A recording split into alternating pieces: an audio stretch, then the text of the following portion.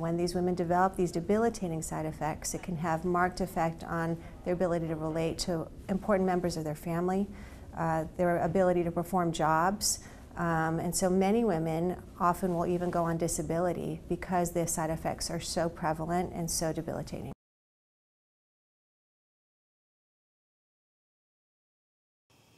So I wanted to talk actually to, today about the side effects of the AC chemo, so what I have what I endured this far. Well, first side effect I lost all the hair. I lost the hair the second after the second chemo, AC chemo. I'll answer the question. You want answers? I think I'm entitled. You want answers? I want the truth! Can't handle the truth! As the radiation energy is passing through uh, the a person's body, it has to go through the skin and the, and the tissues and into the lung, and it can scatter a bit uh, around tissues that are near the, uh, near the lung or the lung cancer. There are a lot of important tissues, as you can imagine. There's your esophagus, your heart is there, and, and even the surrounding normal lung is in that area.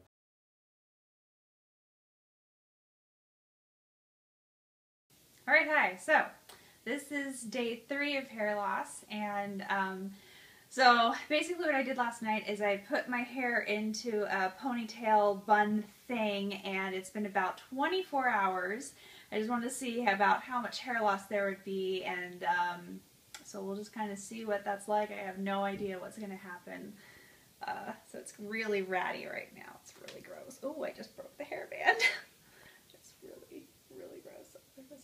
Technically, I haven't lost any hair today because it's all been tied up. So if anyone is going to choose to go the slow method of losing their hair, definitely get a hairband tied up. Otherwise, it just comes everywhere. So here we go. Take a little trick. Okay, maybe that's not as good because it's all stuck. It's so gross. Maybe this is a really bad idea.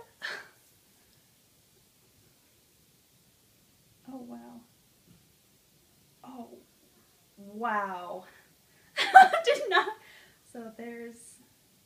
It's very much like chronic fatigue, particularly in the women who receive chemotherapy.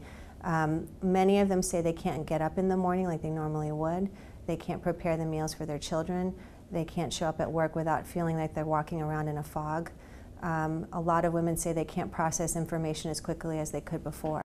All right, it's Monday morning, January 5th, and this is the first day of my radiation therapy. It's going to go on Monday through Friday for the next six weeks. Um, that right there, that big machine in that room is what I will be uh, put into. I'll be face down. Uh, and it really only takes a couple of minutes. It's really positioning you and making sure that everything is perfect. And they've as I've told you in other videos, they put little uh, tattoos. They put tattoos on your breast and a tattoo on your back, so all the lasers have to line up. Um, and the machine won't even go on if everything isn't aligned properly, so there's no room for error. Uh, it only takes about five minutes, uh, but you do have to come every single day. And this is that last insurance policy. After 16 rounds of chemo and a lumpectomy, this six weeks of radiation is the insurance policy just to make sure that I don't ever have to go through this again. Find that in the long run, up to 30% of women in the long run, several months to years after their treatment, will continue to suffer from fatigue.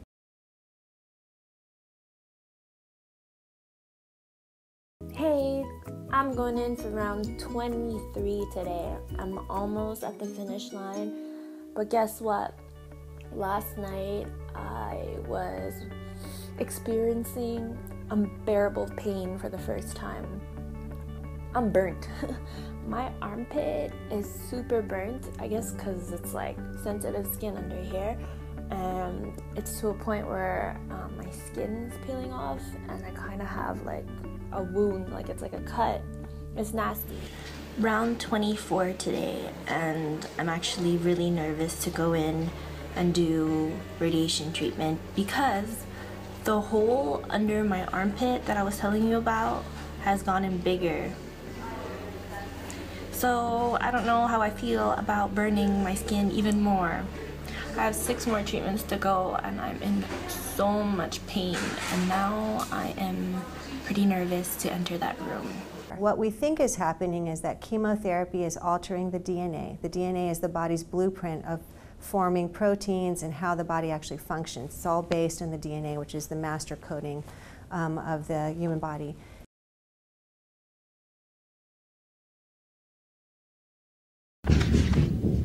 I'll be back.